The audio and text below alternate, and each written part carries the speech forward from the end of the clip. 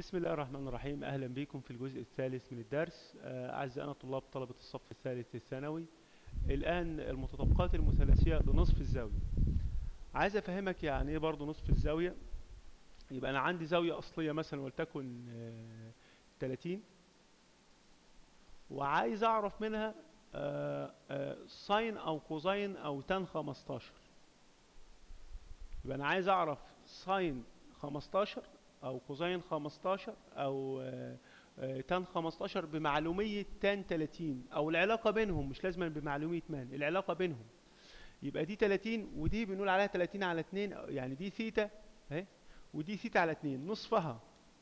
شفت الم- المرة اللي فاتت كانت ثيتا و2 ثيتا لكن دي theta و theta على 2 يبقى أنا عايز أعرف يا ترى هل cosine مثلا 15 بتساوي مثلا نص cosine 30 طبعا المتطابقة اللي أنا بكتبها دي أو الحسبة دي خاطئة ما هي صحيحة. بس أنا بكتب لك يعني آه، إيه علاقة cosine 15 بال بال 30 ماشي؟ فتعالى أكتب لك أنا ال- المتطابقات. آه، sine theta على 2 اهي تساوي موجب أو سالب جذر واحد ناقص cosine theta واحد ناقص cosine theta على اتنين. يبقى دي متطابقة sine theta على اتنين. طالما فيها موجب أو سالب هتبقى أنت تنتبه للربع. طيب cosine theta على اتنين. شوف ال cosine أيضا موجب أو سالب. زيها تماما أهي. واحد زائد cosine theta على اتنين. طيب شوف ال tan بقى. tan theta على اتنين. بنفس ال- ال system كده موجب أو سالب جذر أهو.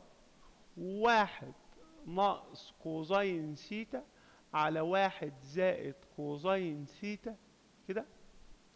وبشرط هنا بقى في شرط ان cosine theta لا تساوي سالب واحد. ليه cosine theta لا تساوي سالب واحد؟ لأن لو هنا سالب واحد واحد زائد سالب واحد اديني صفر صفر في المقام ما ينفعش تتهدي المسألة ما أقدرش أحسب ساعتها tan theta على اتنين. يبقى دي الحالات. تعال نشوف شكل القوانين مكتوبة كده أيضا في الكتاب. أهي sine theta على 2 موجب أو سالب جذر واحد ناقص cosine theta على 2 ال cosine theta على 2 واحد زائد cosine theta موجب أو سالب جذر. واحد زائد cosine theta كسر على 2 ال tan theta أهي مكتوبة. تعال نشوف التدريبات بتتحل إزاي. هنا. أوجد القيمة الدقيقة ل cosine theta على 2 علما بأن sine theta سالب 4 على 5 وثيتا تقع في الربع ال- الثالث. طب نكتب القاعدة. اهي. cosine theta على كام على 2 تساوي موجب أو سالب جذر واحد زائد cosine theta على اتنين بهذا الشكل. طيب. يبقى أنا محتاج أعرف إيه؟ محتاج أعرف cosine theta بكم؟ شوف في مشكلة. cosine theta إيه بكم؟ مجهولة. يبقى أنا لازم أحسب cosine theta يبقى أنا هقسم الصفحة كده أسيب المتطابقة دي وأروح أحسب cosine theta بمعلومية ال sine إما تستخدم طريقة المثلث أو طريقة المتطابقة بكيفك. أنا دلوقتي هستخدم طريقة المثلث. هعمل مثلث قائم الزاوية. وأركب هنا ثيتا. وأقول sine theta 4 على 5 أنسى الإشارة يعني المقابل 4 والوتر 5 والمجاور x هحسب المجاور عن طريق نظرية فيثاغورس جذر. مربع الوتر 5 تربيع ناقص 4 تربيع. هتطلع ال x بتساوي جذر. 5 تربيع ب 25 ناقص 4 تربيع ب 16 جذر 9 هتطلع 3 هكتب عليه 3 الآن أهو. أجي أحسب cosine theta مجاور على وتر المجاور 3 الوتر 5 أنا في الربع الثالث هنتبه للإشارة. اول كل sine هي اللي موجبة وال cosec هنا tan وال cotan. أمال ال cosine إيه؟ ال cosine سالبه يبقى ال cosine سالب 3 على 5 آخد دي بقى واعوض هنا. يلا نعوض بقى. يبقى cosine theta على 2 تساوي. موجب أو سالب. جذر واحد زائد سالب تلاتة على خمسة على اتنين كده. طيب. موجب أو سالب جذر واحد ده له خمسة على خمسة الواحد ده ممكن أشيله وأكتب مكانه خمسة على خمسة زائد سالب تلاتة على خمسة يديك اتنين على خمسة. على اتنين. اتنين. موجب أو سالب جذر أهي. اتنين على خمسة تقسيم اتنين على واحد يبقى ضرب واحد على اتنين الاتنين تروح مع الاتنين تطلع موجب أو سالب جذر واحد على خمسة. المهم هتطلع في النهاية تاني هي موجب أو سالب جذر الواحد واحد جذر خمسة تحت بجذر خمسة. هتعمل لها انطاق مقام تطلع موجب أو سالب جذر خمسة على خمسة. باقي فكرة إنك في أي ربع لأن موجب أو سالب بقى تختار واحدة منهم يا الموجب يا السالب. إزاي بقى؟ أنت تقع في الربع الثاني. طب أنا عايز ثيتا على اتنين يبقى ثيتا أهي. شوف كده ثيتا تقع آسف تقع في الربع الثالث يعني أكبر من 180 وأقل من 270 أمال الثيتا على اتنين اللي أنا شغال عليها دلوقتي؟ cosine theta على اتنين تقع في أي ربع؟ تقع في الربع. هشوفها تقع في الربع إزاي. اقسم كل المتباينة دي على اتنين هنا على اتنين هنا على اتنين هنا. هتبقى ثيتا على اتنين اهي. اكبر من التسعين 180 على 2 90 أقل من 270 على 2 135 يعني ثيتا على 2 دي تقع في الربع الثاني. ثيتا على 2 تقع في الربع الثاني يعني ال cosine في الربع الثاني ال cosine في الربع الثاني سالبة يبقى اخد الإجابة السالبة. يبقى هقول له هنا cosine theta على 2 تساوي موج سالب جذر خمسة على خمسة. يبقى أنا انتبهت للربع كم مرة؟ خلي بالكم انتبهت للربع وأنا بجيب cosine theta هنا. حطيت في بالي الربع بس ربع حج الثيتا. وأنا بجيب هنا cosine theta على 2 أيضا انتبهت للربع بس سيتا على 2 في أي ربع. كتبت إن سيتا أكبر من 180 أقل من 270 لأنها في الربع الثالث. قسمت كله على 2 طلعت سيتا على 2 أكبر من 90 أقل من 135 يعني في الربع الثاني. استخدمت إشارة الربع الثاني ل cosine theta على 2 آه، اللي هي هتبقى سالبة. خدت سالب جذر 5 على 5 نشوف آه، تدريب آه، آخر؟ دون استعمال الآلة الحاسبة أوجد القيمة الدقيقة ل 67 ونصف طب أنا هقول له كده كوزاين بدون استعمال إيه؟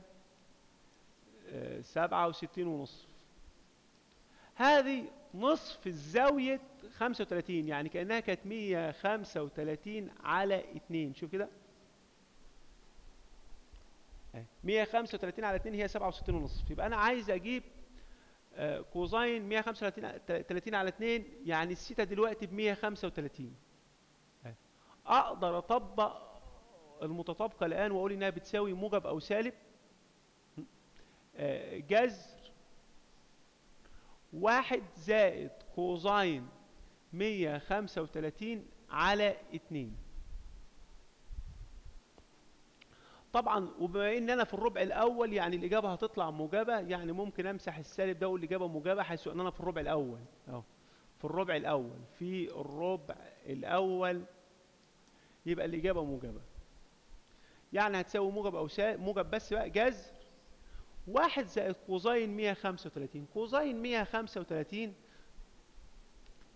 cosine 135 احسبها إزاي؟ على 2 cosine 135 هن... هنأجل شوية نحسب بقى cosine 135 cosine 135 ممكن تحسبها بطريقة الزاوية المرجعية أو تحسبها إن هي cosine 180 ناقص 45 أهي cosine 180 ناقص 45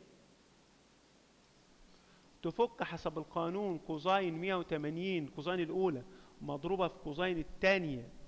زائد sine الأولى مضروبة في sine التانية اللي هي sine 45 cosine 180 سالب واحد في cosine 45 جذر 2 على 2 زائد sine 180 في صفر في جذر 2 على 2 هتطلع الإجابة سالب جذر 2 على 2 اللي هي ال cosine 135 يبقى cosine 135 سالب جذر 2 على 2 أرجع أعوض هنا.